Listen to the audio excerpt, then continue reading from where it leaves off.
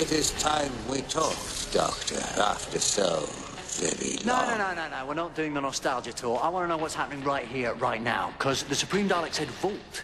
Yeah? As in dungeon, cellar, prison.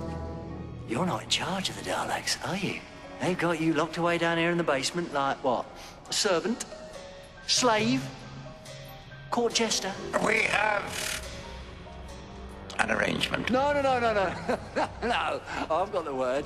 You're the Dalek's pet. Donna, you can't even change a plug. Do you want to bet, time boy? And I got the best bit as a doctor. I got his mind. So there's three of you. Three doctors. I can't tell you what I'm thinking right now. You're so unique, the timelines were converging on you. Human being. Cause on